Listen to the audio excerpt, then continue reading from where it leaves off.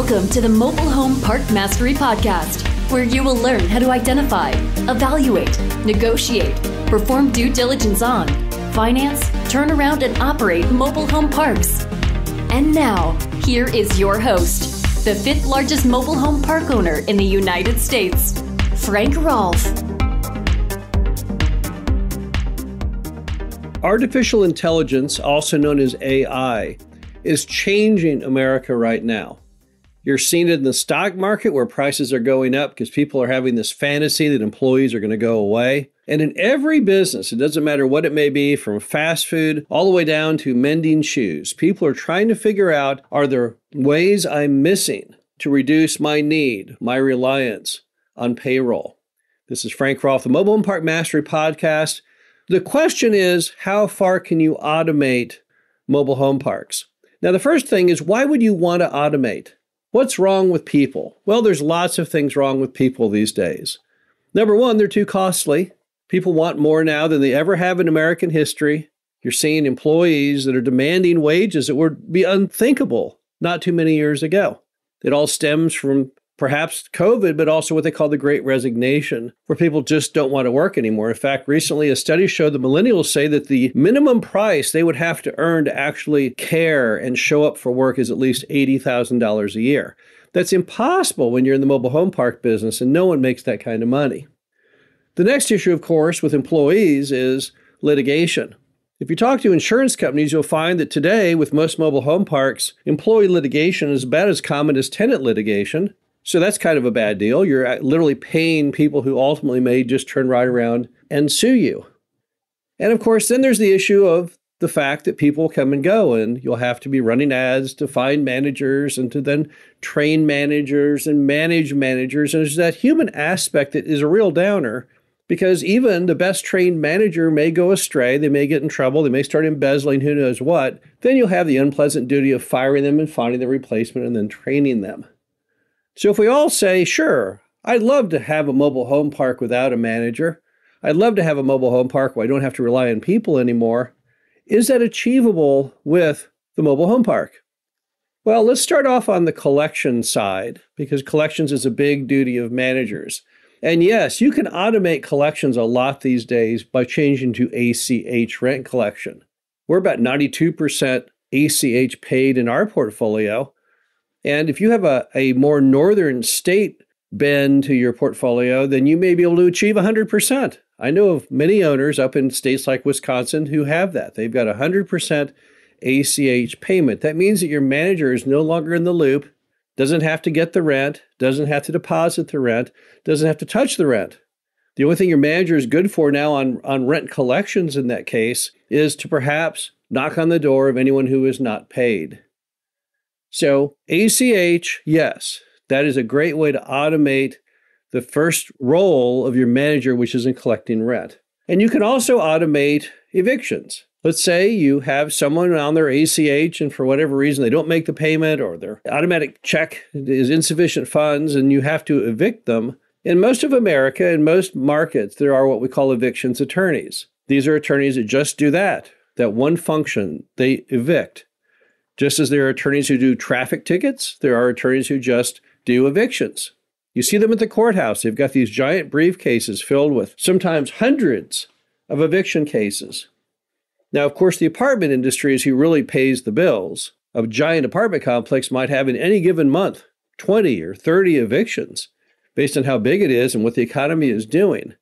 And they carry these little files around, and when they get to court, they don't know your property, they don't know you, they just have a file. And in the file, they typically organize it where they have a copy of the lease and a copy of the demand letter, and then a, a, a simple chart for the judge to show how much money is owed.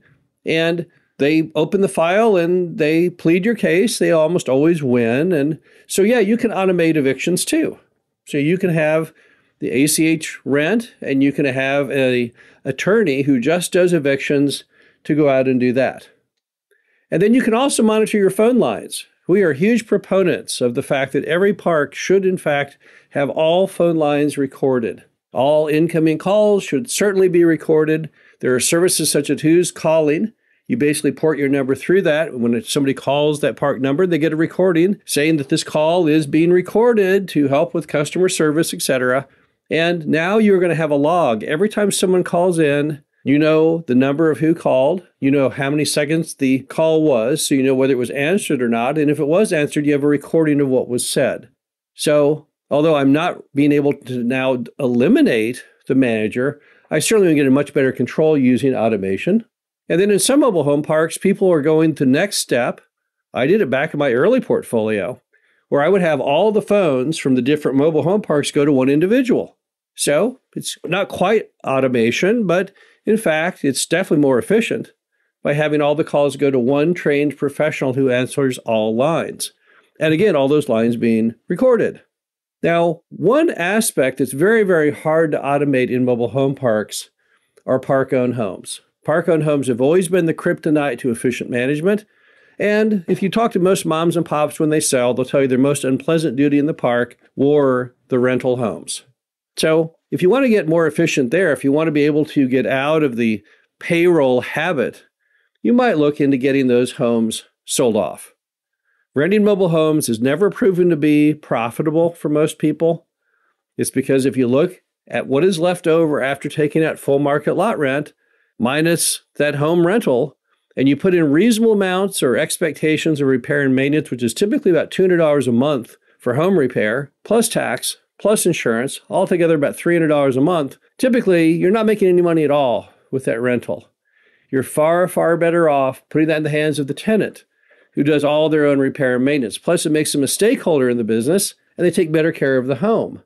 So, if you want to automate the whole cycle of having to rehab homes, run ads, show them, sell them, better idea, just get out of the home business altogether.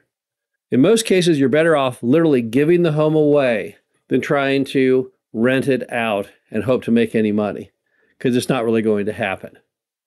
Now, as far as the accounting side goes, you certainly need to automate that. You would never want your on site manager to do any accounting at all. Back in the old days, that's what mom and pops did. That's why the records are so bad. That's why often when you say, "Let me see your last 3 years P&Ls," they give you sheets of paper written in purple crayon. That's because the manager had no idea how accounting worked no computer skills whatsoever, and you can't let yourself fall into that same mom and pop trap. So you would certainly want to automate. You would want to have all the accounting data from any and all mobile home parks you own going through a professional, professional accountant, and then after that through an actual CPA to, to prepare your tax returns. There's another feature of mobile home park ownership which you can't automate, but yet it can be taken off site, and that's having a monthly review of the money coming in and the money going out. We call it a budget actual difference review. You look at every category from your budget to see whether you're making it or not. And if you're not hitting the number, then you need to think through creatively what am I doing wrong and how do I fix that? And that's not something that should be happening in the field. Your manager should not be privy to or part of your budget or your performance. That part is none of their business. It's all about your business. So you need to take control of that. So again, that's efficiently done. It's not going through payroll. It's not going through a W 2 employee. It's going through yourself. Finally, much of the management of the park, and by management, I mean the key issues such as the financing, loan renewals, all those items, again, those come through you as the owner. So those don't really happen much in the field either. So then the key question is gosh, there's a lot there we just talked about that doesn't really happen through the manager. So, do we even need managers today? And the answer is yes. You still need to have a manager in the field at your mobile home park. Now, why is that? You need someone to be your eyes and ears in the field. You need someone to tell you if there's been a weather event or the power is out or there's been the police there, whatever the case may be. Maybe you have a resident who does, in fact, abandon their home and you take the home through abandonment. Now you want to sell it. You've got to have a warm body there to show the home and a jockey around whatever agreements need to be signed. We'll never, as an industry, get completely away from the human touch. You need a manager to work kind of as the mayor of the town, someone who goes around, puts out fires, solves tenant disputes. So, someone with good people skills is essential. Someone that lives on site is definitely preferred but we'll never get completely out of the people business. You're never going to be able to get a mobile home park that runs like the new concept for McDonald's where there's no people and the food moves out on a conveyor belt to the drive through window. Just not going to happen. But we're coming ever more close every, every year. We'll never get there completely. We're never going to have an AI run mobile home park. We're never going to be able to run parks in the absence of having some warm body on site. But there have been massive improvements through technology that make managing mobile home parks more simple today and more efficient than anyone would have ever imagined. This is Frank Rolfe, the Mobile Home Park Mastery Podcast. Hope you enjoyed this. Talk to you again soon. Thank you for listening to the Mobile Home Park Mastery Podcast. Be sure to visit us at mhpmastery.com to subscribe to the show, read our show transcriptions, and access all of our great information on mobile home park investing.